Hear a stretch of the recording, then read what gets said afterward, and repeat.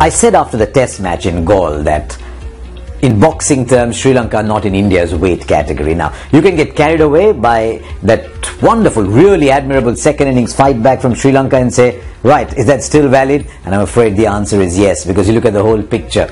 If a team makes 622 in the first inning, then wins by an innings and 53 runs, then I'm afraid there really was only one team in the contest. Sri Lanka's best moments came when the game was already gone and they were trying to make the most of it. You don't win test matches like that. Now let's look at the match winners on either side. Who's done well for India? Cheteshwar Pujara's got 200s. Ajinkya Rahane has got a very, very high quality century. He calls it one of the best innings against spin that he has played. Virat Kohli got a second innings 100 in Galle. Shikhar Dhawan's got a dominant century in Galle. Lokesh Rahul has slotted in again with a very classy half century. Then you go down. Ashwin's got runs. Saha's got runs. Jadeja's got runs. Hardik Pandya's chipped in here and there. He's got a few runs. He's picked up a couple of wickets here and there. Uh, Umesh Yadav and Mohammad Shami, the support cast, have given you wickets the new ball. Just come back and finished it all. And then the spinners are, are genuinely winning you matches. So if you look from a Sri Lankan perspective, how do you beat India? They've got 600 in each of uh, uh, the two test matches that they have played. And you're thinking if you're Sri Lanka, how do we get all of them out?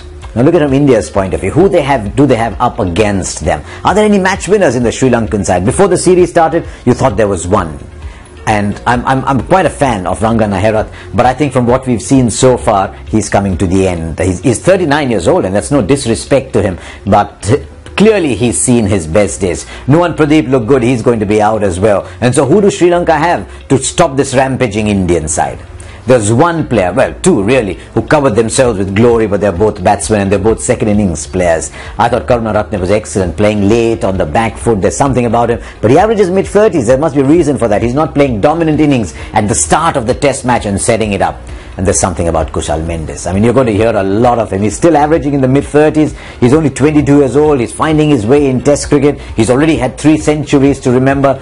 But if he is Sri Lanka's biggest batting match winner or potentially biggest batting match winner, then uh, you're looking down the barrel a little bit. So in India win in Galle, India win easily in Galle, India win easily in Colombo. The series is done. India go to Pallekele thinking, right, maybe we can win the series. Sri Lanka thinking, how do we stop this side? That in a nutshell is the difference between the two sides.